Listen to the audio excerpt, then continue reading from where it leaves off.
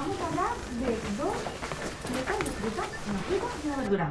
Las dos son naranjas. Y la fruta, la, la naranja, nos da mucha vitamina C. ¿Coméis zanahoria? Sí. ¿Sí? Sí. ¿Dónde? ¿Dónde las coméis? ¿En la ensalada? ¿Por la mañana tomáis zumo de naranja? ¿Sí? ¿Lo pones así y hace... Hola. ¿Cómo estáis? Bien. Bien. ¿Sí?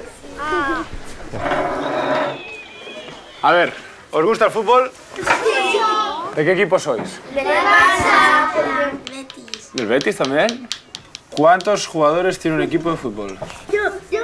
Once. 11, muy bien. ¿De qué colores es la camiseta del Barça? Yo. Yo.